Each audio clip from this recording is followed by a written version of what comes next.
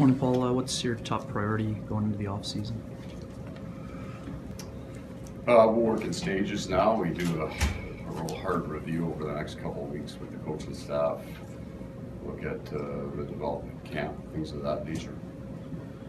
You had a few new guys on your staff this year. How would you assess the job that your assistants did this year? Uh, Jamie brought a wealth of experience.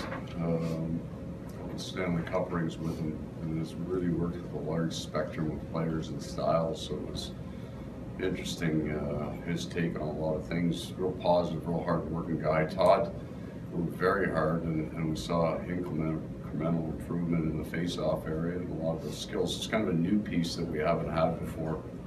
Um, so it was. It's like any any team that you put together when you have new personalities and new uh, uh, perspectives on the game that come in.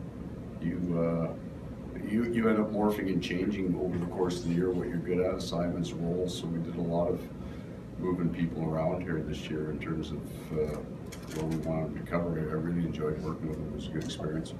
How about uh, Charlie and Wade specifically as well? Uh, Charlie uh, runs that back end and, and had a lot of moving parts back there the whole year, especially toward the end of it.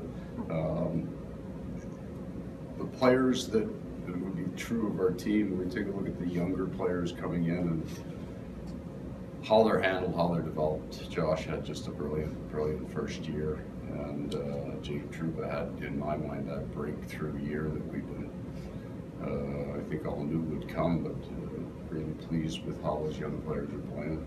Uh, Wade had a had a challenge there in, in terms of pressure that we put on our goaltenders every night, and, and uh, building that confidence, but more importantly, working on the specifics of games with uh, either young goalies or goalies with a lot of experience in there. So um, I like the improvement. I like the direction. Thank you. Paul, what's your assessment of uh, what's missing and maybe what needs to happen over the summer? for this hockey club?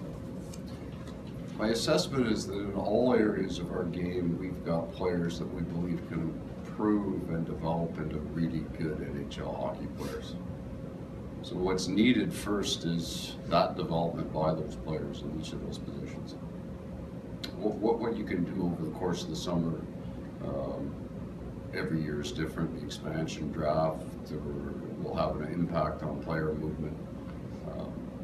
But but again, as I said, I, I like a lot of the players that we have in position. I think they're going to develop into some of them stars, some of them A players, and I think they're on track to do that. Do you where your team ends this year? So two years ago, I think we were at about 500 or so games played by players under 25. Last year it would have gone to about 780, and this year we're over 900.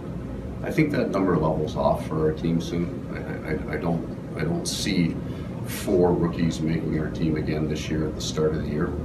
So we'll be better. We'll be better in all areas. It'll be incremental. We, uh, we have areas that we have to improve that aren't going to come easily. Um, we'll get better. There were a lot of question marks about the youth coming in, and and given how some of them played, the goals they scored, the couple of defensemen. Blake Wheeler yesterday called it a, a feels like a bit of a wasted year looking back and how well Yeah. How do you respond to that? So Blake's at an age in probably that all of you will understand as you get a little older. When you have a year where you don't achieve what you want to achieve, and you know you only get so many of them, it feels like you burned a year of your career. Um, the idea of slowly going through this process and doing it in pieces, maybe being a little bit better this year at the uh, sacrifice of developing young players wasn't the plan. So draft, develop. There's going to be some pain in that. We're going through that right now. Probably 12 guys fairly regular on our roster that were young, young men. And those guys will improve more than our veteran players and they will become. So we'll just take the three players that I think transition out of me talking about them as young players in Scheifele, Lowry, and Trouba. They've made huge improvements over those years in a short period of time to become drivers. And as we add more drivers internally, we will, will come a point in time where you're not wasting years, you're, you're hitting your stride. Or should Jets fans be confident that you're the one to turn this around? It Doesn't need to be turned around, it's already headed in the right direction. This is by far uh, the youngest, but also the team with most opportunity, I think, that I've ever coached, clearly. The good young players that are gonna get better. Take the ten or twelve young players that, that I've had here, and I've had a Calder Cup winner as well in the past. They're developing well, they're playing well, and they're gonna get better. So how close is this team? What should it look like next year? It's gonna look an awful lot like this team, but five months older. What does that mean? Things will be better at the end of the season following than we start. We'll be a good team. Will we be a great team? All depends on how far we can push them, how far we can get them, of course. with just one year under contract. Yeah, completely comfortable. I've done it four, maybe five times. It's all always worked out really well. Um, I'm gonna do whatever they ask me to do with that. Don't think about it a whole lot. Never had in my career. Every contract I've ever done took about ten minutes. Don't think about it a whole lot. Got a, got a year left in, on this contract and however they want me to approach it, I'll be fine doing it. Just based on one of the questions earlier about uh, Blake, I guess, feeling maybe a year was burnt off his career. As these guys continue to, the young guys continue to play bigger roles, get bigger responsibility, I imagine become the new core of the Winnipeg Jets.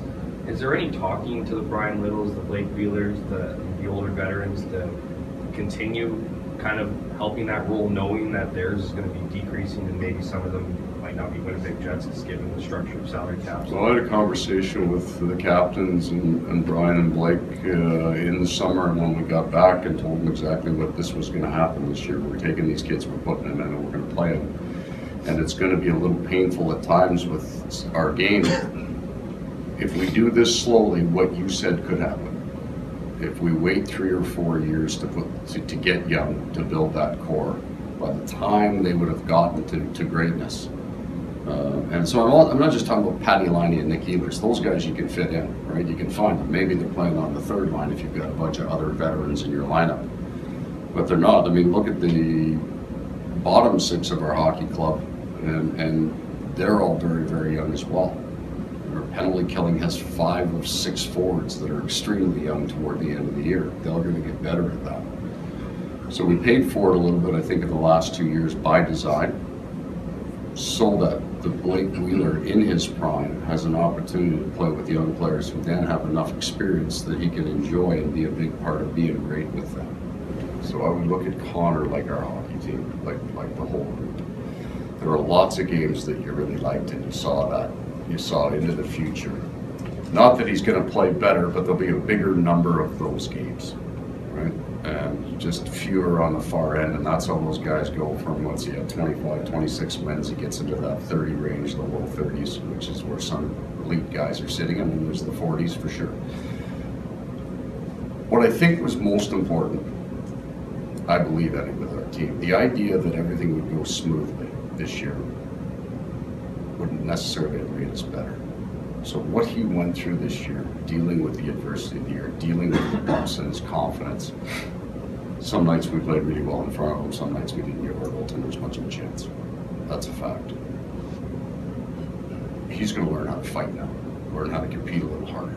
And, and that may be the most important piece that young players need to, to learn is learning to fight through an 82 game schedule for goals. I understand it's less, but learning how to grind through that and the mental grind of it. To get to be great, those guys pass through that. They go through it. They have their tough nights. They, they get pulled. They have to fight for their confidence on their own. He had to do all of that this year. Saw progress in his game. He's got a lot, a lot of room to, to keep getting better, which is true of all of these kids. There's lots of room for him to get better. I, I believe in him. I believe in his talent level and his compete level that he's going to continue to.